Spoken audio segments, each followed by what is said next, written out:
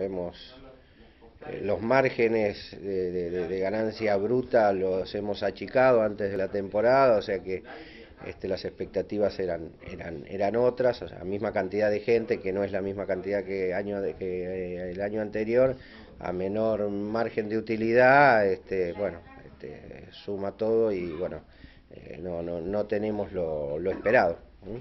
Lo que se influyen en los costos, bueno, todos los aumentos de servicios públicos, de combustibles, que fueron mucho mayores a, a, lo que es la inflación, incluso a lo esperado también, porque uno fija precios en octubre, noviembre, este, y con, ciertos parámetros, bueno, pero siguió aumentando el combustible.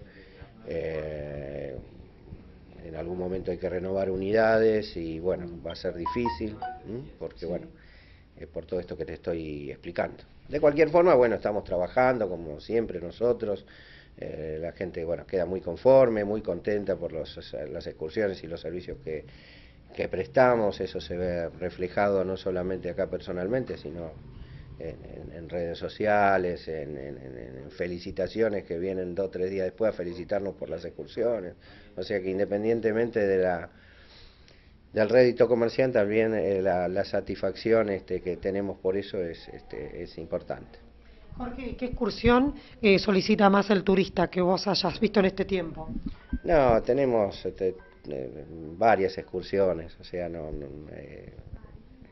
nosotros tenemos 20 excursiones de las cuales la mitad, 10, podrán ser de turismo activo, turismo aventura, como rafting en el Manso, que también es muy pedido en cualquiera de las dos alternativas que tenemos, este, eh, cabalgatas, este, escalada, rappel, trekking, ¿sí?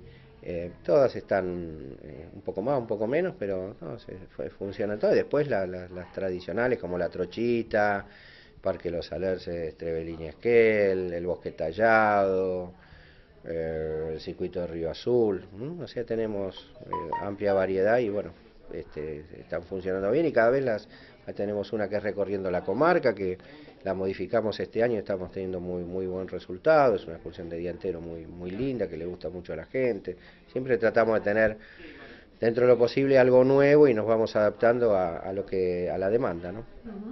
Jorge, en el día de hoy estuvimos recomiendo el circuito de Río Azul. Contanos cómo están trabajando tus tráficos en este lugar, porque vemos algunas, algunos segmentos que están muy dañados para los vehículos. Sí, el mantenimiento de los caminos eh, está prácticamente como, como todos los veranos. Nosotros vamos despacio, este, esquivamos este, lo que tenemos que esquivar, este, así que no tenemos en ese aspecto inconvenientes, ¿no? Son choferes idóneos de la zona y bueno, este, no tenemos inconveniente, pero los caminos, bueno, como siempre no están como deberían estar. ¿Mm? Así que una temporada más este, complicada con, con los caminos de ripio, ¿no? Que es, se complica más para el turista que quiere ir y llegar a hacer la, la excursión seguramente con su vehículo, ¿no? Distinto es el traslado con la tráfico. Sí, el que hace, que va haciendo con su vehículo, bueno, y no conoce los caminos, ahí tenés distintas, este, digamos, eh, situaciones. Hay gente que viene de Buenos Aires y se cree que esto está todo como Buenos Aires, digamos, le decís mil metros eh, que tenés que subir o qué sé yo, 11 kilómetros hasta la plataforma del Cerro Piltriquitrón y lo primero que hace es contar cuántas cuadras son, o sea, hay de todo. Eh, o sea, hay gente que no tiene ni idea de por dónde anda. Eh, y hay otros que sí, bueno, este, no, no tienen en cuenta también el, estado de algunos caminos.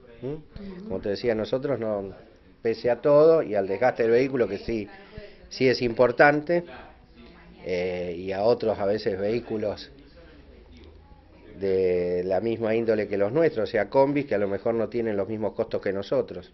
Si vos me preguntás por qué no tienen los mismos costos, te digo, porque a lo mejor no tienen las habilitaciones correspondientes. Eh, y al no tener las habilitaciones correspondientes los costos son menores. Nosotros acá estamos todo el año, tenemos personal al cual tenemos que mantener durante todo el año. El verano es corto, pese a que tenemos otras, otras, otros temas, este, otro, otro, dentro del rubro vendemos pasajes al exterior, paquetes y demás, pero es, bastante difícil y bueno, cada vez se hace a lo mejor más difícil y en parte es porque hay eh, competencia desleal, competencia desigual, eh, los controles no son los que deberían existir, así que, pero bueno, tenemos que seguir adelante.